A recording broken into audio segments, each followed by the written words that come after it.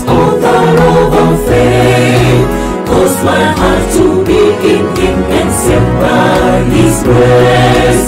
We know He's coming from on high is heavenly.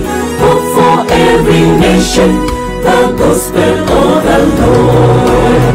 And this gospel of the kingdom shall be preached to all the nations and the end shall come. Today and hope for tomorrow for all the earth. Yes,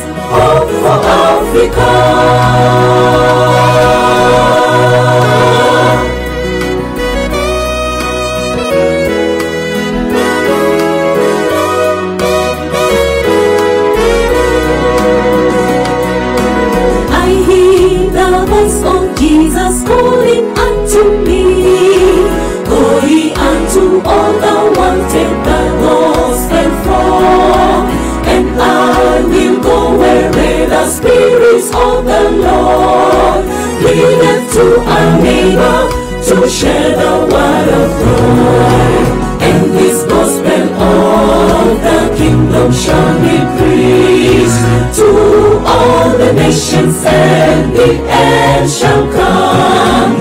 There is hope today hope for tomorrow for all the earth. Yes, hope for Africa. And this gospel of the kingdom shall be preached to all the nations and the end shall come. There is hope today and hope for tomorrow for all the earth. Yes.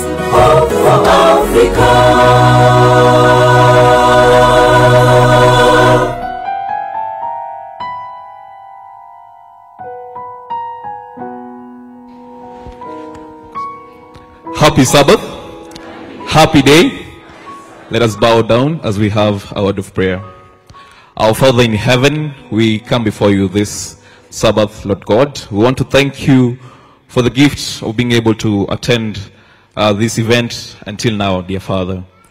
And now, as Pastor Mark comes and delivers the message you have given to him today night, my Lord Father, may your Holy Spirit fill him, O God. And us who will be listening, and all over the world, those who are tuning in from wherever part they are in, Lord God, may you please fill them with your Spirit, my Father, that they might accept the call that you give them. We thank you. Praise the Lord again. I want to talk to the people of Nairobi. I'm talking to the people of Africa. I'm talking to the people of the United States of America. I'm talking to the people of Asia. I'm talking to the people of Europe. I want to invite you to Nairobi Net Event Hope for Africa. It's a great privilege to attend and be in this meeting because it is the only opportunity you have to save yourself in this perishing world. This is not the first day we are beginning to be here.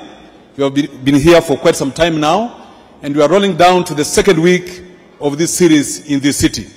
And from wherever you are listening us from, it is a privilege. We want to ask you to feel most blessed and that you have the greatest opportunity to change your life, to see God in a different way, to tell God, thank you for seeing me also from where I am, and to have the opportunity to be called the child of God. Today is another day. Our speaker, Pastor Mark Finley, is coming to talk to us again, making emphasis to us, and particularly today is coming to talk to us about the to see God in a different way, to tell God, thank you for seeing me also from where I am, and to have the opportunity to be called the child of God. Today is another day. Our speaker, Pastor Mark Finley, is coming to talk to us again, making emphasis to us, and particularly today is coming to talk to us about the law, and I want to suspect it's about the law of God. And this is one thing that people always keep misunderstanding. But I want to believe that today, after this presentation, all of us will be able to say, God, you have spoken to us again.